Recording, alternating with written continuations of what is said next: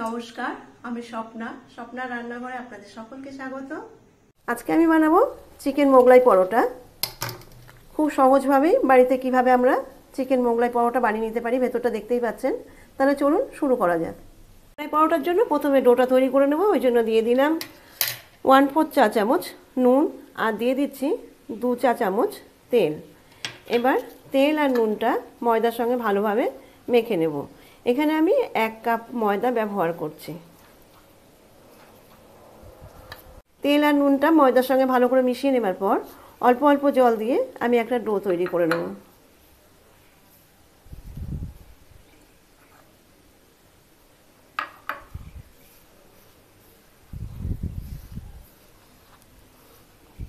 ডোটা আমাদের রেডি হয়ে গেছে। এটাকে আমি কুড়ি মিনিটের জন্য ঢেকে রেখে দেব। আর সেই সময়টা আমরা চিকেন কিমাটা তৈরি করে নেব। কড়াই গরম হতেই কড়াইতে দিয়ে দিয়েছি দু চামচ তেল।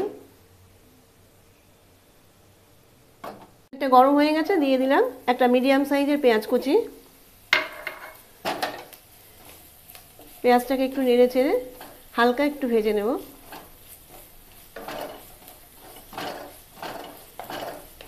পেঁয়াজটা একটু হালকা ফ্রাই করার পর দিয়ে দিচ্ছি এক চামচ আদা রসুনের পেস্ট। এটাও আমি নেড়ে চেড়ে কিছুক্ষণ একটু ফ্রাই করে নেব। আদা রসুনটা হালকা ফ্রাই করে নিয়েছি। কাঁচা গন্ধটা চলে যাওয়ার পর এর মধ্যে আমি দিয়ে দেব একশো গ্রামের মতো চিকেন কিমা।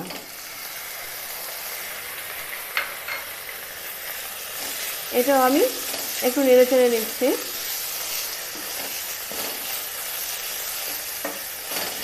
এবার আমি এর মধ্যে দিয়ে দেব তিন থেকে চারটে কাঁচা লঙ্কা কুচি। দিয়ে দেব কিছু গুঁড়ো মশলা, হাফ চা চামচ জিরের গুঁড়ো, হাফ চা চামচ ধনের গুঁড়ো, হাফ চামচ লঙ্কা গুঁড়ো। একটু মিশিয়ে নেব। এর সঙ্গে আমি দিয়ে দেব স্বাদ অনুযায়ী নুন। সামান্য পরিমাণে একটু হলুদ। আর দিয়ে দেবো হাফ চামচ গরম মশলা গুঁড়ো। এবার নেড়ে চেড়ে এটাকে আমি একটু ভাজা ভাজা করে নিচ্ছি, যতক্ষণ না কিমাটা নরম হয়ে যায়।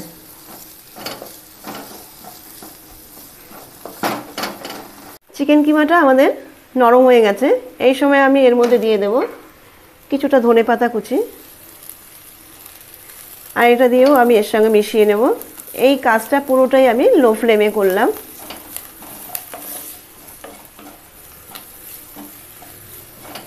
চিকেন কিমাটা আমাদের পুরোপুরি ফ্রাই হয়ে গেছে। এবার আমি গ্যাসটা বন্ধ করে দিয়ে একটা বাটিতে তুলে নেব।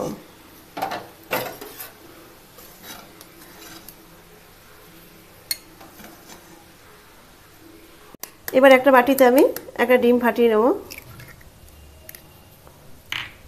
স্বাদ মতো নুন, আর দিয়ে দেব একটু লঙ্কা কুচি, আর দিয়ে দেব প্রয়োজন মতো পেঁয়াজ কুচি।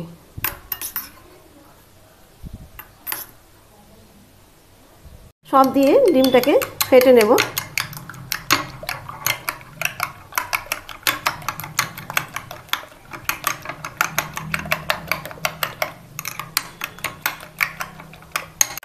ডিমটা ফেটিয়ে নেওয়ার পর দিয়ে দেব পরিমাণ মতো ফ্রাই করে রাখা চিকেন কিমা। এটাও একটু মিশিয়ে নেব।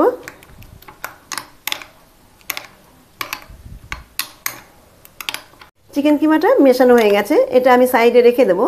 এই সময়টা আমরা পরোটাটা বেলে নেব। এদিকে ময়দাটাও সেট হয়ে গেছে। এবার এখান থেকে একটু বড় সাইজের লেচি কেটে নেব। আর ময়দাটা একটু নরম করেই মাখতে হবে, দেখতেই পাচ্ছেন কীরকম নরম করে মেখেছি। একটা লেচি নিয়ে নিয়েছি, আর এটাকে আমি একটু গোল করে নিলাম। এবার স্ল্যাপের উপরে রেখে সামান্য একটু তেল দিয়ে এটা একটা বড় রুটির আকারে বেলে নেব। এবার একটা বড় সাইজের পাতলা রুটি বেলে নেওয়া। যতটা সম্ভব আমি পাতলা করে বেলে নিয়েছি। একটু ব্যাকাতারা হলে কোনো অসুবিধা নেই। এবার এই মাঝখানটার মধ্যে আমি এই মিশ্রণটা দিয়ে দেব।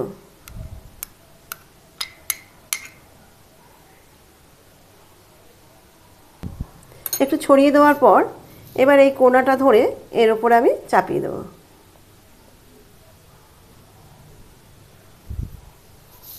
এবার এই কোনাটা ধরেও এর ওপরে চাপিয়ে দেবো। এবার এই সাইডটা ধরে এর ওপরে বসিয়ে দেব। ভালো করে এই কোনাটা ধরেও এইভাবে সিল করে দিতে হবে।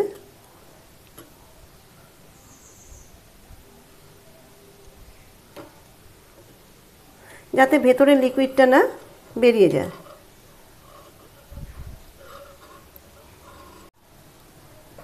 ভালো করে সিল করে দেওয়ার পর আমি একটা প্লেটে তুলে নিচ্ছি। ভাজার জন্য কড়াইতে দিয়ে দেবো বেশ খানিকটা তেল। তেলটা গরম হতেই পরোটাটা ছেড়ে দেবো। এবার ওপর দিক দিয়ে এভাবে একটু তেল দেব।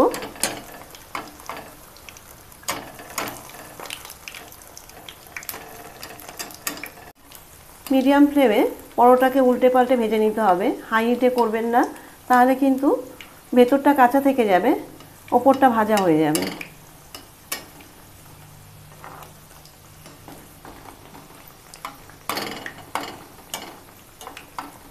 এবার অপর সাইডটা আমি উল্টে দেব।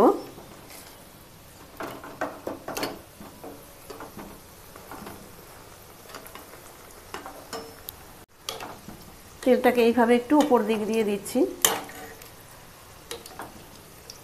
এইভাবে উল্টে পাল্টে এটাকে হালকা গোল্ডেন ব্রাউন করে ভেজে নেব। এইটা আমাদের ভেজে নেওয়া হয়ে গেছে পরোটাটা। এবার আমি একটা প্লেটে তুলে নেব। চিকেন মোগলাই পরোটা পরিবেশনের জন্য পুরোপুরি রেডি ভিডিওটা ভালো লাগলে লাইক শেয়ার করবেন। চ্যানেলে যদি কোনো বন্ধু নতুন হয়ে থাকেন, তারা চ্যানেলটাকে সাবস্ক্রাইব করার অনুরোধ রইল। পাশাপাশি পাশে থাকা বেল আইকনটি ক্লিক করার অনুরোধ রইল। তাহলে বন্ধুরা, আজ এই পর্যন্ত ফিরে আসব নতুন কোনো রেসিপি নিয়ে। ততক্ষণের জন্য নমস্কার।